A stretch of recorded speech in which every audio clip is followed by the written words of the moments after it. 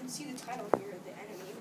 And I just to, just to give a warning, this has a lot of death in it. I went specifically those kids who are squeamish because some of them are descriptive and it tells you what happens to them. So, and yeah, but um, so this book is well, you can see by you know reading the title, it's about death and all that.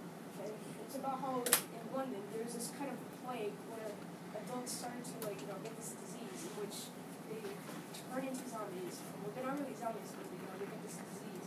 I, I, I don't know. It's really fantastical, but ecstasy like, but I don't know. I think so. But like, yeah, some some of the stuff in here is like kind of mature. Just to say like there's a mature person here, but the whole the sole purpose is that there are these kids who are trying to survive in this uh, little area. There's like I think all of London is affected by the disease, like all the adults and the children. Are like few children left. So it's about these little kids who try to survive throughout the se- series, and of course some of them, you know, die. Like some, like some, it starts off with a kid who gets captured. So I mean, yeah, but I'm not gonna spoil too much about the book.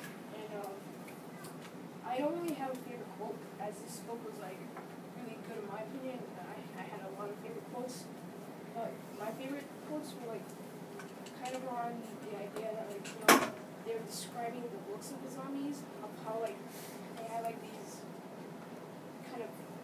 questions and all, it was like kind of descriptive, which is that's what I really like about the book. And um,